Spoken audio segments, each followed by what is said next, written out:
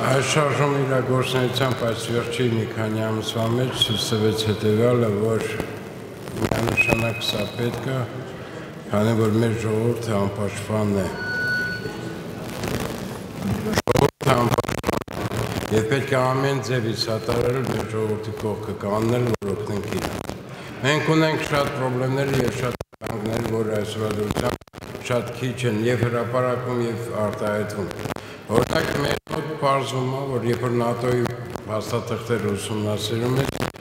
3 տարի առաջ Հայաստանում Վրաստանի բարակված վիրուսով անձնավորություններին բերում են այստեղ Երևան Արամյանց կենտրոն, որտեղ իրանք անցնեն իրանց բուժումը։ Կներեք Արամյանց կենտրոնը, որը գտնվում է Պրոշյանուրան, պատրաստ չի վիրուսային հիվանդ ընդունելով։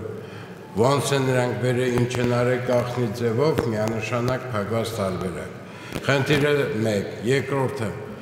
Հրապարակումների ծերումա, որ արտասամանյան հատուկ ծառայությունները գործում են Հայաստանում, կատարում են օպերատիվ հետախուզական միջոցառումներ առանց մեր կառույցներին տեղյակ պահելով, որտեղ եթե պահին մերոնք իրավունք չունեին թույլատրել։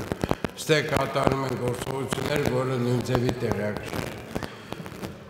Բազմիցս այն ինչ որ նոր հրապարակվեց, ես միանում եմ այդ ամբողջովին, ես պրոստը ուզում եմ հաստատեմ այն հանգամանքը, որ մեր կառույցը ազգային եւ հոգեվոր արժեքների պաշտպանության ազգային ճակատը եւ հակակոռուպցիոն կենտրոնը ակտիվորեն մասնակցելու այս շարժման գործունեությանը եւ ամեն ձևով ինչքան որ հնարավոր է եւ աջակցելու է եւ տեղեկատվություն արտահայտելու այն հանգամանքների խախտումների ինչ որ կատարում է Հայաստանում։ Շնորհակալություն։